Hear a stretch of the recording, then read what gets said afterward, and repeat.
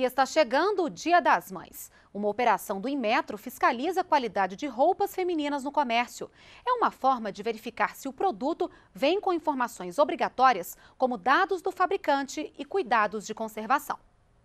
O Dia das Mães está chegando e o comércio se agita para atrair compradores. As roupas são presentes que sempre agradam mães e cabem no orçamento dos filhos. Mas será que se preocupam com a qualidade do que estão comprando? A blusa é grande, mas a etiqueta bem pequena.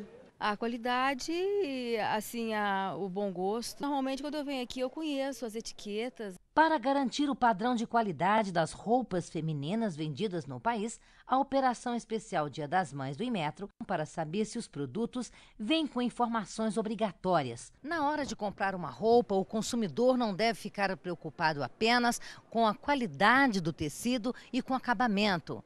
Para ter certeza que está levando para casa um produto de qualidade, ele deve ficar atento a outros itens. Tem que observar demais também o modo de conservação dele.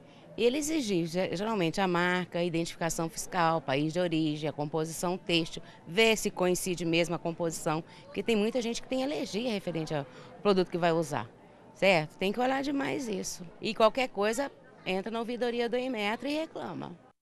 As lojas que não cumprirem as regras terão até 10 dias para apresentar defesa ao Inmetro e estarão sujeitas a multas que variam de 100 a 60 mil reais. Os consumidores também podem denunciar pela ouvidoria do Inmetro.